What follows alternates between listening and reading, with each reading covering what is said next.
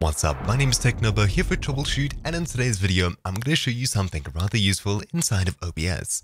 As you know, when I'm recording my desktop, you're able to see my cursor over here. But for some people capturing gameplay through display capture, window capture or game capture, you may not want this cursor over here showing in your actual recording. So in today's video, I'm going to go through disabling or enabling the cursor capture inside of those three elements inside of OBS. So without further ado, let's get into it. I'll open up OBS, and over here I have a couple of capture methods. I have display capture, game capture, and window capture.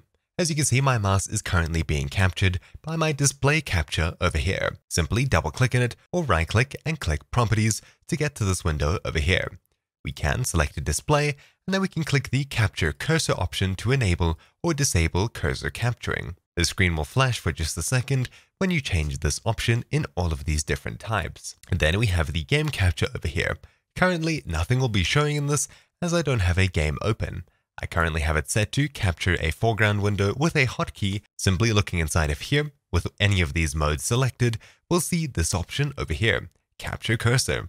Simply clicking on this or unchecking this makes our cursor visible or invisible. Then we have Window Capture over here, which is currently capturing my sound control panel over here. If we simply right click, click properties, we'll see this over here. Then you may expect to see a capture cursor button, but there isn't one here. Where exactly is it?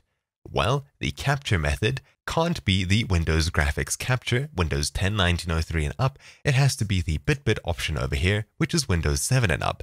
As you can see, my cursor is currently visible on it, but if I uncheck Capture Cursor, my cursor is no longer visible and I can control application volumes. But heading back to the Windows Graphics Capture, you can see that we no longer have the option for our cursor inside of here. So simply disabling our window capture, that is about it. Hopefully you found this video useful. My name's been Technobo here for TroubleChute, and I'll see you all next time. Ciao.